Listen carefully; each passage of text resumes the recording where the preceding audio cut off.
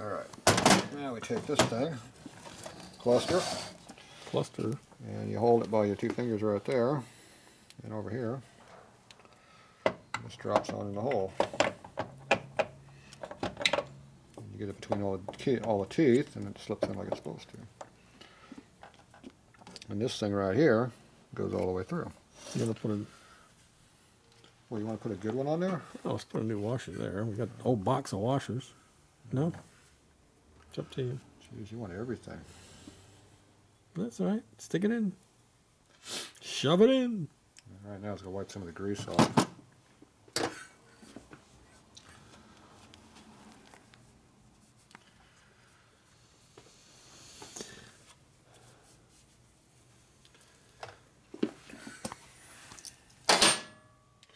My hands are bleeding. Somebody stole my clean rag too. We got one right here. That's your rag. My rag at? I used to have two rags. It's probably laying over that lathe over there. Somebody wanted me to go over there and do something once. Forget what it was. No, you had to go clean up the dang shafts. Uh, here, where's the new one at? The new one's right there, isn't it? Well, if that's the old one, then that must be the new one. See, you can tell this is new by you compress it. It's soft. It's round. that one's old and hard and flat spotted. Okay, now you can put it in there. Not yet. You gotta figure out how it goes. Okay. See, this is the lock that goes over there. It must Yeah. be in that position. Can't be over here, here, here, or any of these other spots. So the lock has got to be. All right, let's take a look at it. A little closer look. The lock goes here, and this here goes over here, and that hits against it. Keeps it from rotating. Okay. So you gotta make sure you put this in the right spot. So if you can't remember how it goes, take your felt tip pen, put that straight to the rear, and mark this on the top. Do that. Do that. Show me that again. nope, I already marked it. All right. You have to figure out what the mark is though. The mark's on Should the top. Should be straight up and down, right? Yeah. You know how I know it's straight up and down? What is that? Because this is straight up up and down down. over here. All right. Sorry, I missed that. Pretty Now you know. See, you weren't catch, you weren't paying attention there for a I'm minute. falling you? asleep, dude. Yeah, I fell asleep day. yesterday. All right, now you go ahead and put this in the hole. Now wipe the grease off so this out here, the loop will have a chance to seal when you put it all the way in. Yep. And you make sure that one. All right, where's my rag at? I need a rag.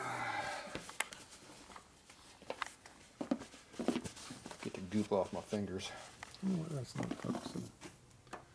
All right, we gotta take our sealer.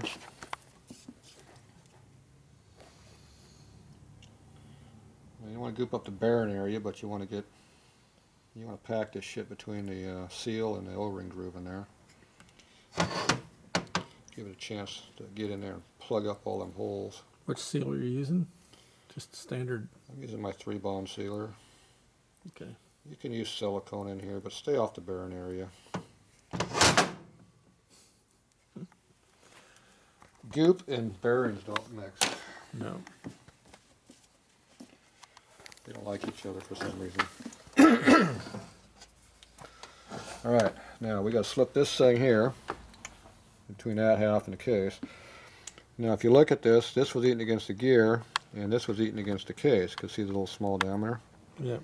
So these get worn. So when we put this in, we put it in the same way it came out. So flip that up. Shaft dropped, right? Yep. Yep. This goes in here between the case and the bushing there. Okay. And look over here. Look over here.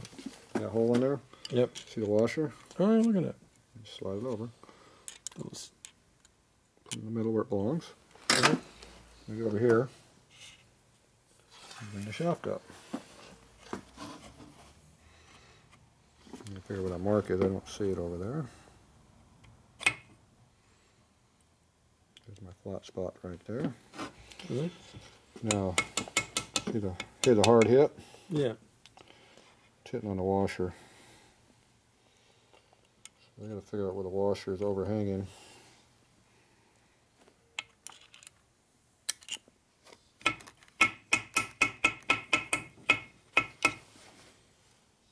dark to see in there. There it is.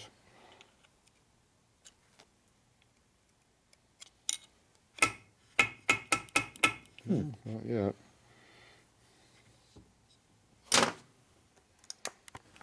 Where was it? It's still overhanging.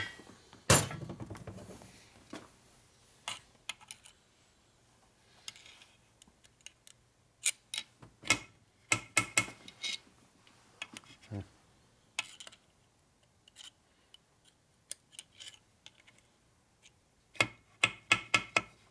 Damn it. Pretty close fit, huh? Well, if I had some damn light that worked, it would help. Nothing like looking at a dark hole, I'll hold the flashlight. trying to see something you can't see. You know, you notice I keep going this way and Well- you keep going further? Well, I'm trying to I'm get. I have to be empty. I'm I'm running the camera and the light simultaneously. So Okay, I'm doing all this over here, so we're equal. See, there's the washer hanging up right there. now you can see it. It still isn't going though.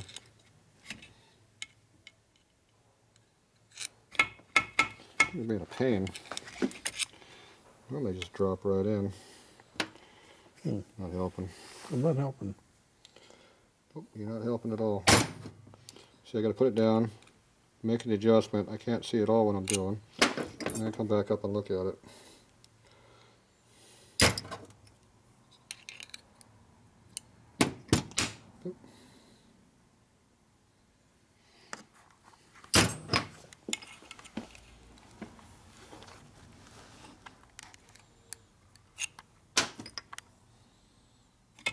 Oh, there it goes. Success. So you don't force it, you just do it. Double check you got your Okay, so the O-rings now hit the edge right there, right. and you got to kind of push it past it, which usually shears it off. That's why you put all the other sealer there.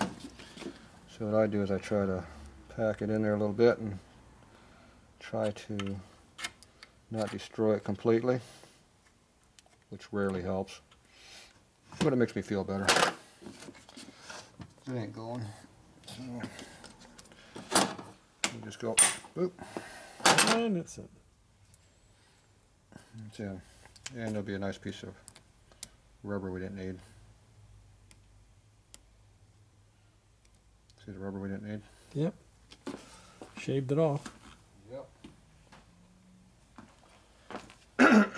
What they make goop for. But this one doesn't matter because it has a cover over here that secondary seal. See the old bikes, they didn't have that O-ring at all. That's new stuff. So you could actually run it without the cover if the O-ring worked. But in this case, the O-ring didn't work too good, but that's normal. That's why we have all the goop on it.